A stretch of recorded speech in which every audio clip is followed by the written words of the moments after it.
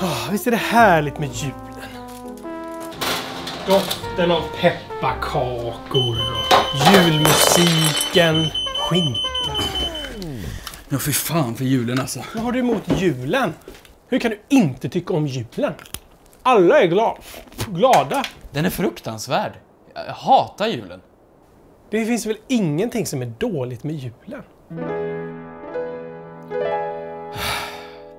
När det är jul så ska man hinna med att tänka ut och köpa in de saker som man ska. Och på paketen ska man gärna hitta på någon rim och skriva som är fyndigt, skoj och bra. Och man ska slänga i sig julmat, fylla tallriken igen, men man får aldrig sitta still. Men det finns inte någon plats i magen alls om du kanske vill ta en sill till. Och man ska stressa inte stan och leta klappar hela dagen och springa in i var butik. Oavsett i vilket köpcenter man handlar får man tvingas höra samma julmusik. Och man får höra dessa sånger tusen gånger på repeat och spelas hela julen lång. Sankta Lucia och de där de har man hört i bara fall sedan oktober någon gång.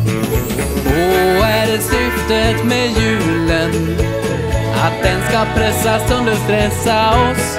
Ja, varför är det aldrig någonsin lugn och ro, julmys och tro och äkta julegran? Varför finns det inte längre några snälla barn?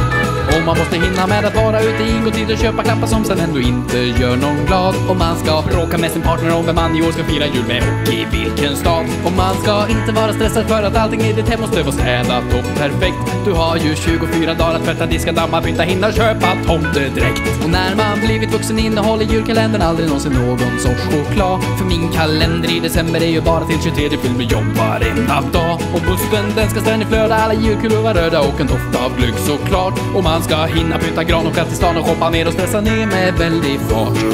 Och varför firar vi julen? Med släkt och tomtedräkt och annan skit. Och sillbitar som ligger i en smaklös sås utan laktos och självklart glutenfri. För allt är det någon som har någon jävla allergi. Nästa prövning blir när ut på landet sen man ska och träffa svärföräldrarna så man får ordna någon transport. För man ska fira jul med dem som det är svårt att tycka om och som dessutom bor långt bort. Och det blir alldeles för dyrt med lilla bilen som man hyr och allihopa sitter trångt. Och när man kör iväg med den så inser man i år igen att vårt land är jävligt långt. Och när ni gränner i din skalle är på max då börjar Kalle nu har klockan slagit tre. Man andas en minut och sen så ska man köpa tidningen så Kalle får man inte se. Och när man äntligen är klar då har ju redan Tomtefar varit här och delat ut paket. Men man fick ingenting ändå för det är bara för de små. Jag har väl fan bestämde det. Det är så det alltid